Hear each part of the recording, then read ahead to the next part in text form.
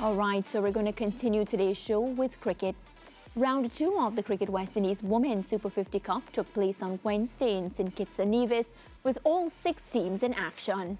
Both Jamaica and Guyana earned their second consecutive wins, while defending champions Barbados had to hold off a stern challenge from the Trinidad and Tobago Red Force Divas to secure their first of the campaign. Here's how things unfolded. All right, so this is the Barbados woman batting first, getting to 186 in 48.4 overs, 93 from skipper Kycia Knight and 16 from Kyshona Knight. Pick up the bowlers for the Trinidad and Tobago woman, Karishma Ramharack, who's tuned in right now, 4 for 20, and Samara Ramnath, 3 for 38. Then the Trinidad and Tobago woman could only manage to get to 178 for 8. This was an extremely close match. Britney Cooper, the skipper, getting to 33, and the youngster Samara Ramnath, 32. Pick up the bowlers for Barbados women, Aaliyah Alleyne, 2 for 33, and Kelia Elliott, 2 for 33. Keila Elliott. All right, next one. So in this match, we had the Leeward Islands up against the Jamaica women. And of course, the Leeward Islands were dismissed all out 98 in 35.1 overs. Thanks to the brilliant bowling of skipper Stephanie Taylor, 3 for 16, and Vanessa Watts, 3 for 15. Renice Boyce managed to get to 37, and Shanisha Hector, 14. Well, the Jamaican woman got to that target quite easy with Chedean Nation ending on 61 not out and Rashada Williams 29 not out. Pick up the bowlers for the Leeward Islands woman. Amanda Edwards, she picked up that lone wicket. All right, so this one, the Guyanese women, a second consecutive win, 207 for 8 in their 50 overs. A top stuff from Shabika Gajnabi getting to 61 and Shemaine Campbelle 42. Pick up the Windward Islands women bowlers, Karina Noel, 3 for 47, and Selena Ross, 1 for 8. The Windward Islands women could only manage to get to 163 in their 40.2 overs.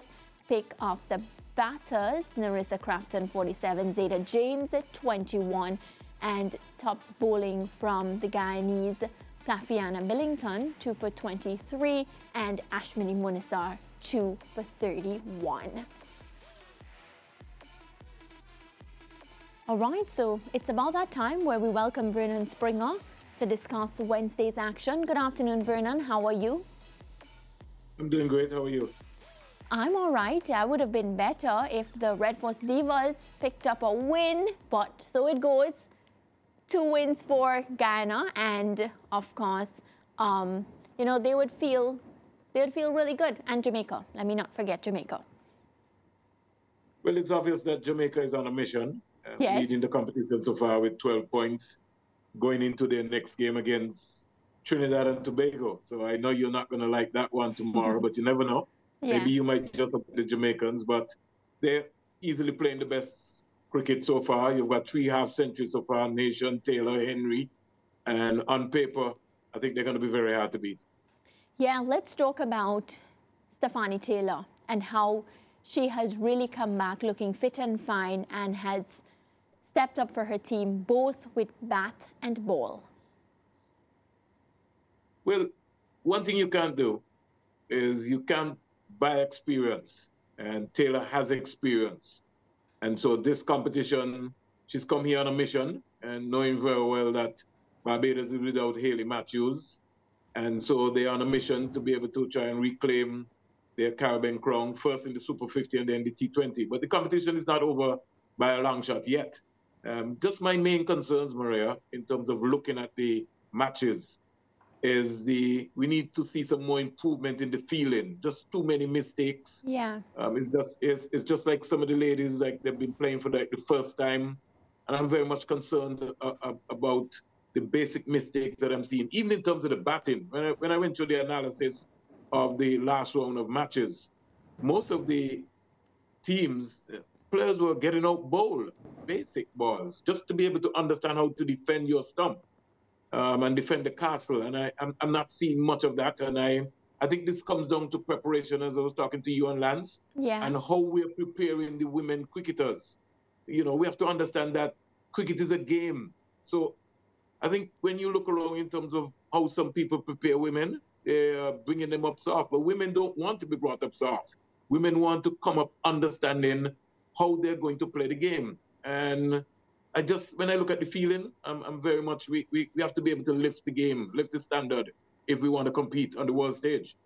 Yeah, and speaking about competing on the world stage, we saw some really good performance from Chedean. You know, she has really assumed her role and, of course, been um, working hand in hand with her skipper, Stephanie Taylor. Really happy to see her getting some runs with the bat. Well, at this level, Maria, because of the quality of what is coming out of the women's tournament, you expect someone like a Shady Nation who would have played a number of games for Cricket West Indies um, to come to the party. So that is not a surprise. What you want is you have a Jannillea Glasgow who's 20 years old. She's been the only bright prospect. I want to see somebody like a Rashada Williams um, step up and come to the party, and more some of the other young players. Gajnabi got a half century because, as you know, you know the Taylors and the nations are moving on. So we have to have a, a, new cadre of young players coming through. And I think that is going to be the major concern for the West Indies women's selection panel. Yeah, uh, Vernon, how much do you read into the Guyana victory over the Windwards? Because the Windwards had started out pretty strongly, and the Guyanese were able to make more than 200 runs against them. And as we've seen, the tendencies for teams not to make as many as 200 runs, the Windwards bowling not bad, so the Guyanese are getting over 200 against them and then continuing through to get the victory. Um, how much do you read into that result? Because based on what we had seen in the opening round, the, the Windwards looked, looked decent and uh, the Guyanese taking care of them could suggest that the Guyanese um, are title contenders. Scoreboard pressure. Um, scoreboard pressure. And in a competition where you're playing where all you're playing for all of the marbles, anything can happen. If you look through this entire tournament, Lance, you would see that there have been key runouts in certain situations, communication. And that game featured where you had a couple of runouts. Um, even, you know, when you look at the, the situation, they could have maybe still won the game. Um, Crafton was on 47 coming up to the end there.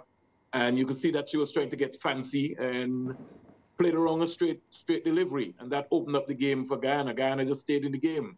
You'll have to also give credit to Barbados, who narrowly defeated Trinidad and Tobago by eight runs. Um, so that game could have gone either way. But again, my major concern, Lance and Mario, is the batting. The bowling, yes, we're going to see a lot of the Afy Fletchers and company and Taylor getting wickets, but it's the batting that is going to be the major concern for, for women's cricket in this championship. Yeah, batting is the major concern for West Indies women's cricket, and it has been for some time now, Vernon. And two rounds out of the way, and I'm already seeing a familiar storyline and one that I have spoken about on this show, not specific to the women because it happens with the men as well. And it is the inability of Caribbean teams, and especially at the highest level, to consistently bat 50 overs. And when we look at what has happened in this tournament so far with these teams, they're all struggling to bat 50 overs. And uh, speaking specifically as well to the teams who are batting first. So, for example, um, in the first round, Jamaica batted 46.5 overs, Trinidad and Tobago Tobago 48.2, Guyana 36.3, and then in round two, Barbados 48.4, the Leewards 35.1 against Jamaica, and Guyana batting their 50, the only team batting first in the competition so far to get to 50 overs. But I want to ensure that I'm being fair Vernon, to these uh, um, ladies. Um, so I want you to assess what the conditions have been like. Is it a matter of the surfaces that they have been playing on, or has it just been that they've not been good enough? I think it comes down to preparation. Mm. Um, preparation is going to be key. Let's start with Guyana. Um, Guyana just had three inter-county games before they picked their squad to come to St. Kitts and Nevis for the West Indies Championship. Um, you also could look at the Windward Islands, who had a competition um, among the four territories. the Leeward Islands had to muster 26 players to go to Nevis and St. Kitts to have a training camp. Barbados, um, a shortage of, of women cricketers playing in Barbados. Jamaica, um, similar situation. Trinidad and Tobago, maybe out of the lot, maybe have the maybe most organized program.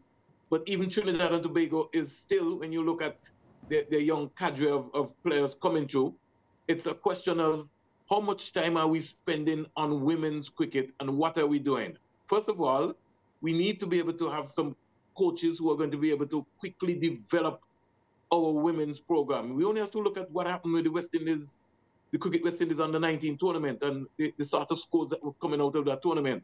So I'm saying if before tournament we're beginning to bring the ladies together, then we can't be serious about women's cricket. We have to do more and we have to start playing lip service to women's cricket and put a, a greater emphasis on developing the game. And developing the game does not mean by having competition. It might mean that we have to be able to send some coaches, for instance, the Leeward Islands. In this competition, the Leeward Islands have never won a game. Um, we got to find out what is happening, what are the problems, what are the causes. Um, look around and see how best we could help. Maybe we need a franchise system in the women's cricket rather than having six territories playing against each other. I'm just the messenger looking in. Mm. Has nothing to do with um, the conditions and the surfaces that they're playing on, you think? This is no, all about what is being put into the women's game, and you're saying that we are seeing the end result of what you consider to be limited investment in regional cricket um, on the women's side. Yeah, well, let's let's be honest. Let's look at the franchises. All of the franchises concentrate on the men's aspect of the game. How many of the franchises really spend time and make an effort and say they have an organized youth development program for women's cricket? And they can come and tell you guys, Sportsmax, and tell me what they have put in place. Um, it's limited. We only have three CPL teams in the women's competition. How many players we have from the Caribbean? I mean, these are serious questions. You know, you know what I mean? So there needs to be a greater investment going forward for the women's game. Greater attention has to be paid to the first, the girls under 19. But we can't just pick up girls and say, well, come and play for the Leewards and come and play for Barbados at an early age. We have to start at the primary school level, then on to the secondary school level. We, we must have a program. There must be a pathway for women's cricket in the Caribbean. Yeah, well, Springer, we'll continue to watch the Women's Championship and, of course, we'll continue to keep in contact with you. Let's see if Jamaica and, of course, Guyana can keep up that uh, winless run that they're on. Thank you so much. Well, I'm, I'm, I'm going to put I'm going to put my money on the line. After the third round, I think Jamaica will win the championship. So let's. How much money so that is that, coming up against your Mario. how, how much money, Ricardo wants to know? Huh? How much money is that? How much money? Yes. What, whatever the price you call. Oh, wow. I heard that you had a lot, but I didn't realize that I was hearing the truth. All right. Let's take a quick break with that piece of information. We'll be right back.